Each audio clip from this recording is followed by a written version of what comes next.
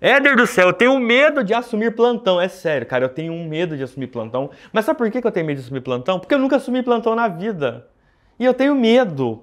E, cara, eu não sei, mas e aí, o que, que, você me fala? Tenho muita dica para te dar. Para você não ter medo, cara. O plantão não morde, o plantão é tranquilo, o plantão é prazeroso. Olha lá, galera, vai dar força para os coleguinhas aqui nos comentários. Fala aí. Todo mundo teve a primeira vez no plantão, não teve? A primeira vez que você foi fazer plantão? Então coloca aqui abaixo como é que foi. É, como é que foi assumir o plantão? Coloca aí para os coleguinhas aí. Então, é, não tenha medo de assumir plantão. Agora eu vou falar por que, que grande parte das pessoas tem esse medo é, e isso era para ser ter, é, isso era para ter sido trabalhado no campo de estágio e muitos professores não trabalharam você para você assumir plantão e por isso você tem medo. E eu vou te explicar o que, que é interessante você agora fazer. E para quem ainda vai para campo de estágio, cara, não perca um minuto desse vídeo, veja ele depois, salve ele, compartilhe, porque eu vou contar muitos segredos que valem milhões para você, tá bom? Então não deixe de curtir, compartilhar, se inscreva, seja membro, porque assim vai te, me ajudar bastante a criar esses conteúdos diariamente.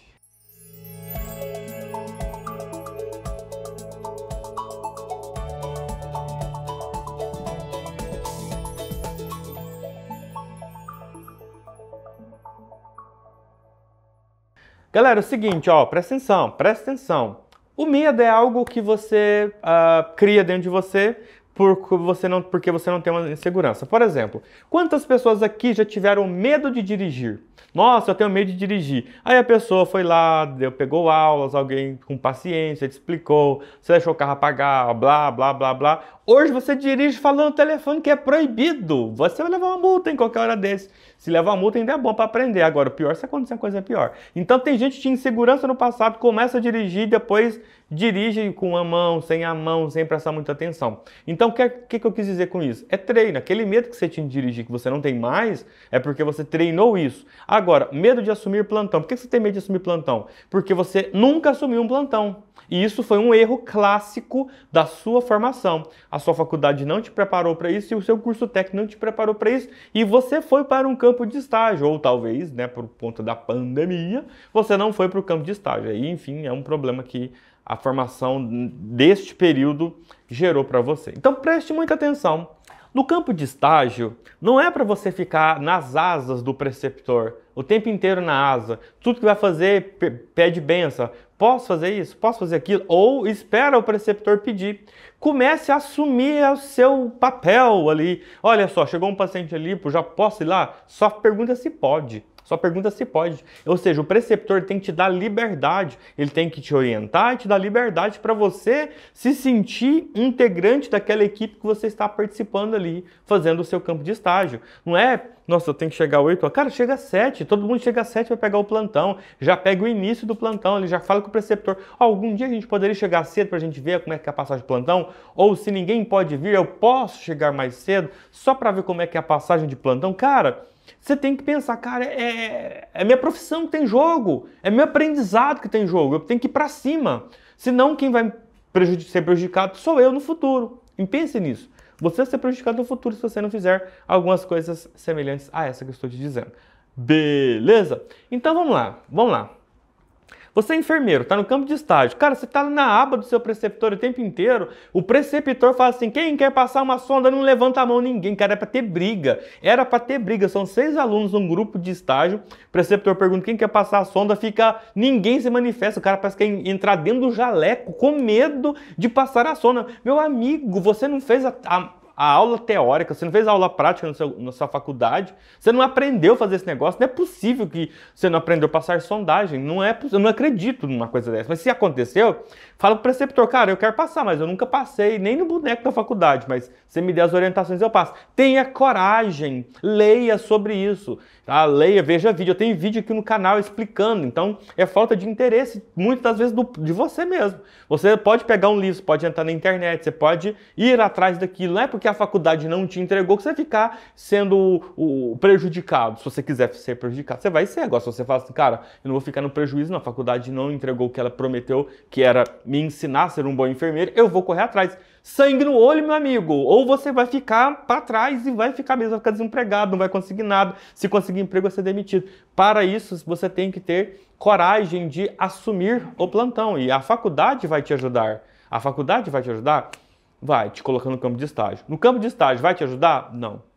Ou sim, depende. Se você pegar um preceptor que pega na sua mão, maravilha. Só que você tem que ter um preceptor louco. Eu era um preceptor louco. Um preceptor que ajudava na primeira semana, na, sema, na segunda semana, cada um cuida do seu paciente. Eu deixava se virar. Claro que eu dava, eu tava ali por trás, mas cara, assume seu paciente ali. A gente chegava antes das sete para pegar o plantão, a gente ia embora uma hora da tarde. A gente até passava do horário. E tinha aluno que achava ruim. Esses alunos que achavam ruim foram os alunos que até hoje não arrumaram emprego. Aqueles alunos esforçados que entravam e saíam no horário sem reclamar e gostavam, tá todo mundo trabalhando hoje. Olha só que coincidência, né? Então, o medo é porque você nunca assumiu o plantão. Então, o preceptor, se você é preceptor tá me ouvindo, cara, seja doido. Primeira semana você pega na mão. Já aviso, olha, primeira semana eu vou ajudar vocês em tudo aqui, mostrar onde fica, como é que faz. Na segunda semana eu vou estar tá por trás, mas ó, eu quero proatividade, vocês vão ser avaliados por isso. É assim que funciona. Enquanto as pessoas ficam tentando te segurar para você não cair, você não vai, você não vai correr, você não vai andar sozinho. Entendeu? Então ninguém tem que ficar segurando sua mão o tempo inteiro, não. Então o campo de estágio te prejudica muito quando você for assumir. Porque assim, uma coisa é você é um aluno, está no campo de estágio tem um preceptor do seu lado. Outra coisa é você assumir como enfermeiro, como técnico de enfermagem. Não tem ninguém ali a não ser você mesmo. E aí bate o medo, por quê? Porque na época do seu estágio tinha sempre alguém por trás, você se escondia de curativo, você escondia de passar sonda, de fazer punção venosa, chegava a emergência, você escondia. Escondia porque tinha seis alunos, ficava um pouquinho para trás ali, para ninguém para dar um disfarce ali, para não querer fazer o procedimento que você não sabia. Mas não, o que, que eu tenho para te dizer? Corra atrás do conhecimento. O conhecimento liberta, o conhecimento é muito bom. Você se torna uma pessoa livre e desimpedida, igual uh, uma pessoa solteira, né? Pessoa livre e desimpedida, pessoa que quiser da vida. Lógico, não vai fazer besteira. Mas é isso, seja uma pessoa livre. Com conhecimento você se torna uma pessoa livre para você trabalhar. Uma pessoa que não tem conhecimento é a pessoa mais travada. Ela fica até mais tímida, mais travada, recuada. Isso faz você perder oportunidades de emprego. Não passa em processo seletivo. Quando passa, ainda tem riscos de ser demitido em até 90 dias. Vai por mim, não tenha medo de assumir o plantão, mas vá com garra, conhecimento, estude. Você não está trabalhando ainda? Estude, porque o dia que você começar a trabalhar, você não vai ter tempo de estudar muito, vai ter um, um tempo reduzido, vai chegar cansado em casa. Quem está trabalhando sabe como é que é a vida. Tem família, tem uns que tem família, estudo e, e, e outras coisas mais. Então, aproveite se você está desempregado para estudar. Né? Tire um tempo do seu dia para estudar, um tempo do seu dia para conseguir o seu emprego. Depois que assumir o emprego, não adianta querer correr atrás do prejuízo. Conhecimento teórico não se aprende rápido, tem uma curva de aprendizado. Então, não pare de estudar, que o dia que você conseguir emprego, você só vai continuar e eu tenho certeza que você vai ter muito mais segurança para exercer a sua função. Ok?